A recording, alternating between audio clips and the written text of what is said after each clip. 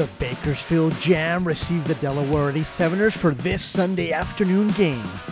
Ike Diogu backs his way into the paint for this bucket and another double-double, 18 points, 12 rebounds.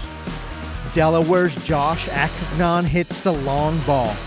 Then Saunders feeds Antetokounmpo for the beautiful slam. He ends the game with 14 points. More Ike Diogu from the paint. Former Jam player Tiny Gallon gets this rebound and drops two of his 10 points, 10 rebounds. Dennis Horner from the corner for three and a double double also. And more Jam threes. This one from Terrel Harris, who finishes with 18 points. Norvel Pelle rebounds off the glass for the dunk. Antetokounmpo continues the aerial display. But this Sunday afternoon belonged to the Jam as they defeat Delaware 119 to 113.